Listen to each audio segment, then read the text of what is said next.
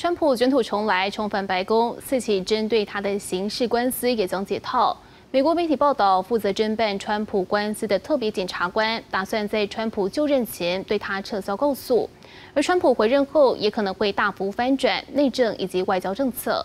川普竞选时曾表示，他有能力用二十四小时结束俄乌战争，还要对中国进口的商品全面加征关税。此外，川普对移民的打击力道可能比第一任期还要强。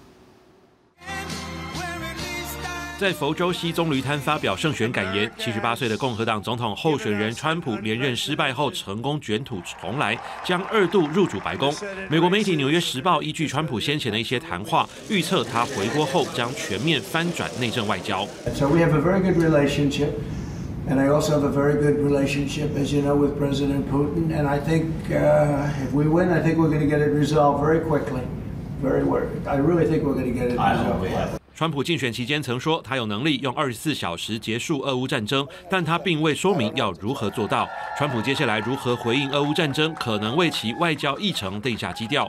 另一个深陷战火的中东，川普对以色列政策可能不会针对加萨人道主义提出任何附加条件，也可能让纳坦雅胡面对伊朗更加自由。川普在竞选期间还主张对中国采取强硬立场，暗示将大幅提高中国商品关税。此政策也可能冲击来自欧洲的商品。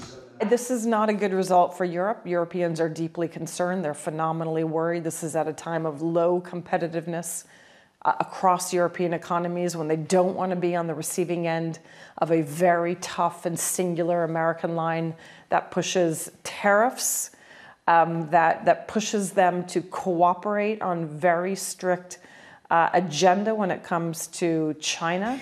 至于内政方面，川普对移民打击力道可能比第一任期更强，并且将指示司法部起诉现任总统拜登一家，与扩张总统职权，将一些独立机关纳入总统管制。不过，分析师认为，川普首先面对的还是经济问题。Donald Trump won because he tapped into a lot of fear of the future and a great deal of dissatisfaction with the status quo. Much more so than the average person thought or expected.